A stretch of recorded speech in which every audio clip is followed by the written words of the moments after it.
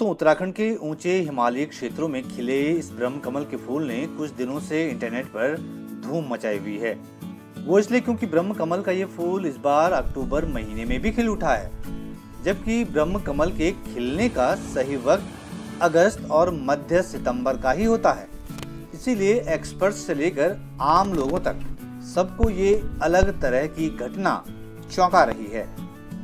क्या ये कोई अनोखी कुदरती घटना है? इसका ठीक ठाक तो पता नहीं, लेकिन कई जानकारों का अनुमान है कि इस बार कोरोना काल में लॉकडाउन की वजह से इस हिमालयी क्षेत्र में सैलानियों की आवाजाही न होने और प्रदूषण का स्तर कम होने की वजह से ऐसा हो सकता है कि ब्रह्म कमल का ये फूल दो बार खिल गया है।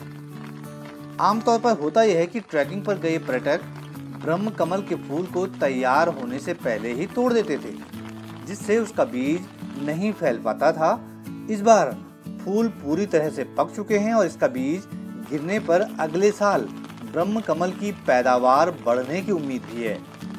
वरना तो हिमालय पर आने वाले सैलानी इसे रौंद डालते थे और जिसकी वजह से ये फूल लुप्त होने के कगार पर पहुँच गया। इस बार तो ब्रह्म कमल कम ऊंचाई पर और बेमौसम भी खिल रहे हैं। हमारे मित्र देवेंद्र डिमरी कुछ दिन पहले जब फूलों की घाटी की सैर पर गए तो उन्होंने मुझे उस ट्रैक से ब्रह्म कमल की ये तस्वीरें भेजी हैं। ब्रह्म कमल का फूल सामान्य कमल की तरह पानी में नहीं उगता, बल्कि ज़मीन पर करीब 11-12 हज़ार फीट की ऊंचाई पर खिलता है। ब्रह्म कमल इसलिए खास है क्योंकि ये साल में सिर्फ़ एक बार ही खिलता है और सिर्फ़ रात के समय खिलता है।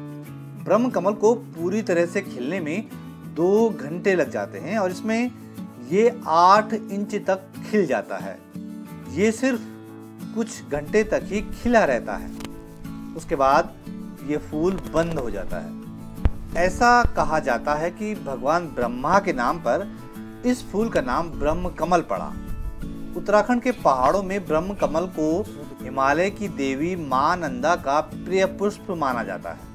इसलिए इस फूल को नंदा अष्टमी को तोड़ा जाता है। ये फूल खूबसूरत होने के साथ साथ कई तरह की कठिन बीमारियों और घावों का इलाज करने के काम भी आता है। ये दुर्लभ फूल उत्तराखंड का राज्य पुष्प भी है।